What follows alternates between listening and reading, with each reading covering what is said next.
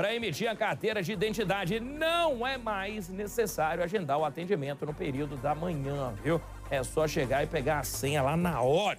O objetivo é tentar agilizar a emissão aí que estava travada por conta do atendimento. Maíra Guedes vai trazer esses detalhes para a gente agora. Maíra, é com você.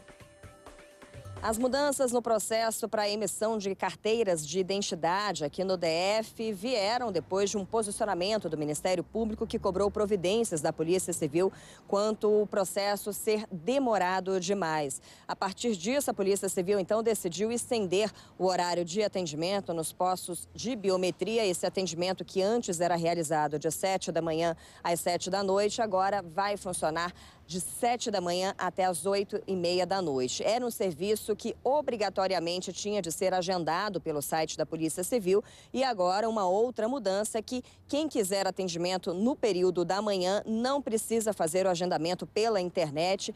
Esse atendimento vai ser realizado com a distribuição de senhas por ordem de chegada. A partir de meio-dia, aí sim continua a obrigatoriedade do agendamento que deve ser feito no site da Polícia Civil, pcdf.df pf.gov.br. São oferecidas por dia 1.300 vagas e a Polícia Civil chega a atender uma média de 1.100 pessoas, porque há ainda aquela diferença das pessoas que agendam e não comparecem para fazer a emissão da carteira de identidade. Aqui no DF são alguns postos localizados em delegacia que fazem essa leitura biométrica e a emissão da carteira de identidade. Esses locais ficam na Asa Sul, na primeira DP, na terceira DP no Cruzeiro, quarta DP Guará, 16ª em Planaltina, 32ª em Samambaia, 33ª em Santa Maria, 6 DP no Paranoá, 30 DP de São Sebastião e também na 27ª Delegacia de Polícia que fica no Recanto das Emas.